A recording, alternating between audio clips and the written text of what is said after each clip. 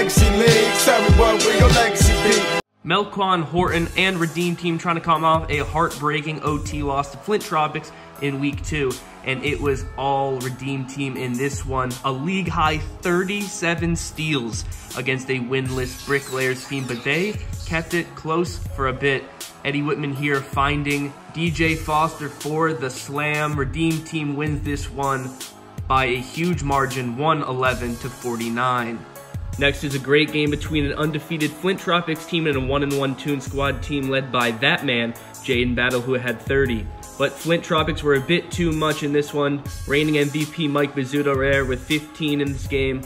And right here, Matt Sear is going to find TJ Gianni, who's going to poke it back to Matt Sear for the dunk. And we got an early dunk of the year candidate right here. Jaden Battle, my God.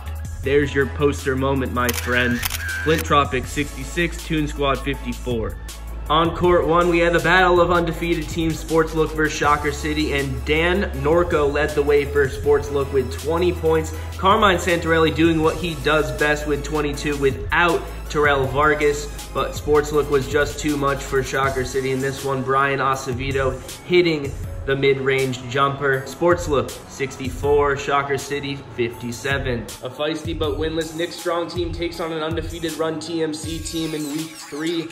And it was all Nick Strong early on. Ryan Florentine's gonna knock down the D3. He had 18 points in this one. But Run TMC making the push. Dominique Langston to the lane with the slam. He had 16 points. Chris Leak for Nick Strong played really well in this one. Nifty move under the basket. He also had 16. But Run TMC just too much for Nick Strong in the end. Cody DeLeonardo with 13. He dropped that one there. And then Reggie Stewart doing what he does. Run TMC by one point. Finally, in our nightcap, we had two winless teams battling off. Scott's Tots versus Silly Senders. And Scott's Tots opened this one up hot.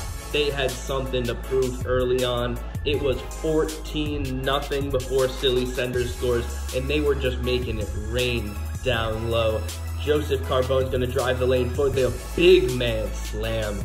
But don't count out Silly Senders. Thomas Conway in the lane. Nice little fader from him. He had five points. And just as the first half was coming to an end, Brendan Boucher pulls up and drains it. He's pumped up. Silly Senders have a little momentum going to the half, but Scott's Tots were just a little too much, hitting it downtown, and they win it 64 to 57.